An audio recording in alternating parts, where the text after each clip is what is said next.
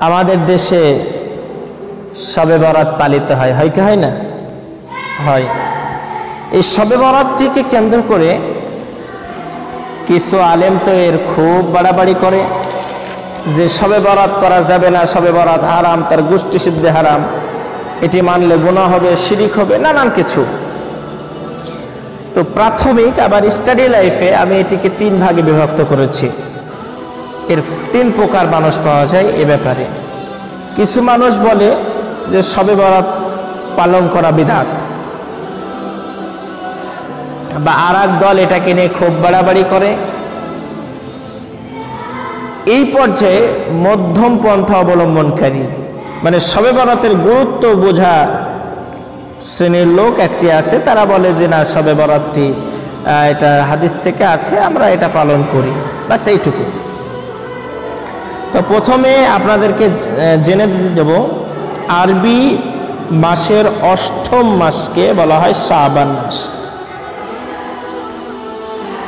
আরবি মাসের আট নম্বর মাস হলো শাবান মাস, আর এই শাবান মাসের পনেরো তারিখ হলো নিসফে শাবান মানে অর্ধেক শাবান।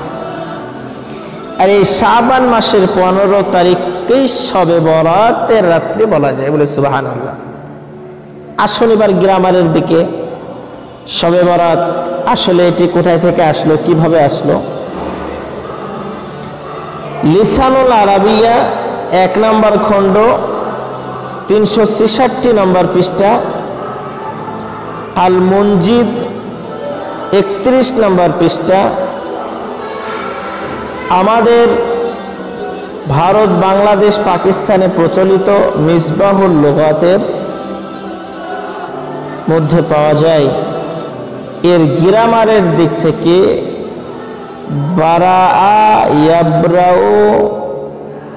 বারা আন মানে হলো মুক্তি পাওয়া আর সব মানে রাত্রি। অর্থাৎ মুক্তি প্রাপ্ত রাত্রি। অনেকে এটাকে বলে যে ভাগ্য পরিবর্তন হবে, তকদির পরিবর্তনের রাত্রি। আসলে এটি হলো মুক্তি পাওয়ার রাত্রি। তো এই সম্পর্কে হাদিস কি বলে আসেন শুনি বিশ্বনবী সাল্লাল্লাহু আলাইহি ওয়াসাল্লাম বলছেন إذا كانت ليلة النصف من شعبان فقوموا ليلها وصوموا يوما فإن الله تعالى ينزل فيها لغروب الشمس إلى السماء الدنيا নবীজি বলছেন শাবান মাসের পনেরো তারিখে রাত্রিতে তোমরা ইবাদত করো আর দিনের বেলায় তোমরা রোজা রাখো কারণ ওই দিনে সূর্য অস্ত দেওয়ার পর আল্লাহ তালা প্রথম আসমানের উপরে সে আহ্বান করে, ও আমার বান্দারা, ও আমার বান্দিরা, তোমরা ক্ষমা চাও। আমি আল্লাহ পাক, আল্লাহ তাআলা, তোমরা যদি ক্ষমা চাও, তোমাদেরকে আমি জীবনের গুনাহটা মাফ করে দেব বলে সুবহানাল্লাহ। এই জন্য এটিকে ক্ষমার কথা বলা হয়েছে, আমি ক্ষমা করে দেব। তোমাদের রিজিককে আমি বাড়িয়ে দেব। কোনো অসুস্থ ব্যক্তি থাকলে আমি আল্লাহ পাক আল্লাহ তাআলা তাকে সুস্থতা দান করে দেব। এইভাবে তিনি ফজর পর্যন্ত আল্লাহ পাক বান্দার সকল প্রার্থনাকে কবুল করে নেবেন বলে সুবাহান এই শাবান মাসে বিশ্ব নবীজি আমাদেরকে একটি দোয়া শিখিয়েছেন লানা ফি রজব ওয়া শাবান ওয়া বাল্লিগনা ইয়া আল্লাহ, এই রজব ও শাবান মাসে আমি আপনাকে, আমাদেরকে বরকত দান করুন এবং আমাদেরকে রমজান মাস পর্যন্ত পৌঁছে দেন বলে সুবাহান আল্লাহ মুসনাদে আহমদ শরীফের প্রথম খণ্ড দুশো, আপনার উনসত্তর নম্বর পৃষ্ঠা। সোনা মুসান্নফি আব্দুল রাজ্জাকের মধ্যে রয়েছে, এই কথাটি তাবারির মধ্যে রয়েছে, এই কথাটি ইমানুল বাই হাকি সোয়াবুল ইমানের মধ্যে রয়েছে। পাঁচ নম্বর খণ্ড, তিন হাজার পাঁচশো চৌত্রিশ নম্বর হাদিস। কাজে শাবান মাসে তোমরা এই দোয়াটি পাঠ করো।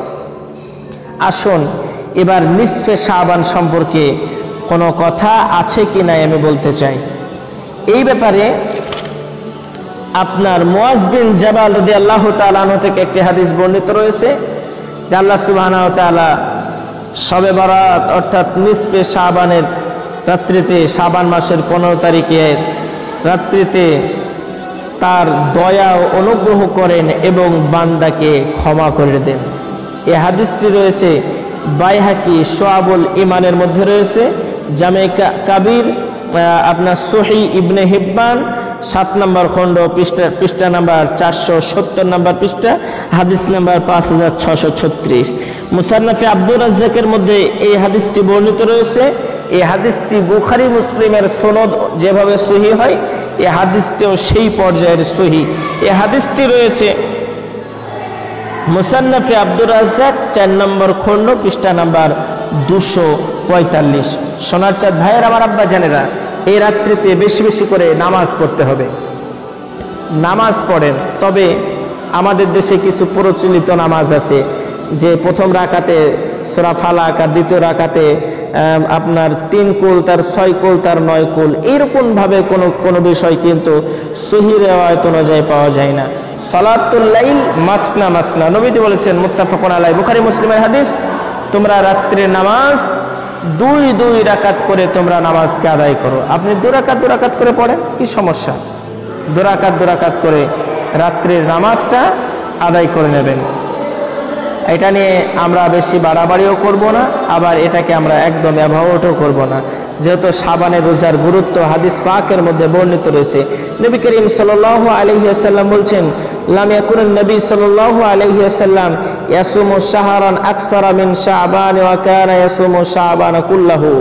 নবীজি বলছেন চেয়ে বেশি অন্য কোনো মাসে নবী সাল্লাম রোজা রাখতেন না। আর পুরো সাবানেই তিনি রোজা রাখতেন, কোনো হাদিসের মধ্যে বর্ণিত রয়েছে। কাজে এর প্রতি আমরা গুরুত্ব দিই। মা হজরত হুমায়রা থেকে একটি হাদিস বর্ণিত আছে, তিনি বলছেন, কানা আহাব্বা শুহুরি ইলা রসুলিল্লাহি সাল্লাল্লাহু আলাইহি ওয়াসাল্লাম, আইয়াসুমাহু শাবান নবী হজরত আয়েশা বলছেন যে, নবীজির কাছে শাবান মাসে রোজা রাখা সবচেয়ে বেশি পছন্দ ছিল। তিনি রমজান পর্যন্ত রোজা রাখতেন। আবু দাউদ শরীফের হাদিস, মুস্তাদরাকে আল হাকিম। কাজেই আমরা রোজা রাখব, তবে রোজাটা নিয়েও বেশি বাড়াবাড়ি করব না। কেউ যদি মনে করে যে রোজা না রাখলে তোমার বড় গুণা হয়ে যাবে, এটি কিন্তু নয়। সোনার চাঁদ ভাইয়ের আমার আব্বা জানেরা, অর্ধ সবানোর পনেরো রাজার পনেরো তারিখে রোজা রাখার বিধানও কিন্তু হাদিসের মধ্যে রয়েছে। মুসান্নফে আপনার মুসনাদে আহমদ শরীফের হাদিসে আছে, আপনার ইবনে মাজা শরীফের হাদিসের মধ্যেও বর্ণিত রয়েছে। কাজে ফতহুল বাড়ি আপনার কাশপুসাজি এইরকমভাবে অনেকগুলি হাদিসের গ্রন্থর মধ্যে কিন্তু এই রোজা রাখার কথা বলা হয়েছে। কাজে রোজা রাখুন নেকের উদ্দেশ্যে, তবে এটা নিয়ে বেশি বাড়াবাড়ি করবেন না। আর নামাজ পড়বেন, দুই দুই রাকাতভাবে নামাজ আদায় করবেন, যেভাবে আপনি সাধারণভাবে নামাজ আদায় করেন। এবার একটি প্রশ্ন, যদি কেউ রোজা না রাখে, তাহলে কি তার গোনা হবে? না, এ বিষয়ে তার গোনা হবে না। যেহেতু রমজানের রোজা বাদে, রমজান মাসের রোজা বাদে আপনি সারা জীবন যদি রোজা না রাখেন, তাহলে আপনার গোনা হবে না। যদি আপনি ওয়াজিব রোজা মানত করেন, সেই রোজাটি আপনাকে রাখতে হবে। মানত বাদ ব্যতীত আপনি অন্য কোনো রোজা না রাখলে আপনার কোনো গোনা হবে না, কোনো সমস্যা নেই। তবে একটি লক্ষ্য রাখতে হবে, যেখানে সোয়াব আছে সেই জায়গায় আমরা আছি। আর যেখানে সোয়াব নাই, সেখানে আমরা, সেই জায়গাতে আমরা নাই। আমরা প্রত্যেকে সঠিকভাবে আমল করার চেষ্টা করে। আল্লাহ তাআলা আমাদেরকে তৌফিক দান করুন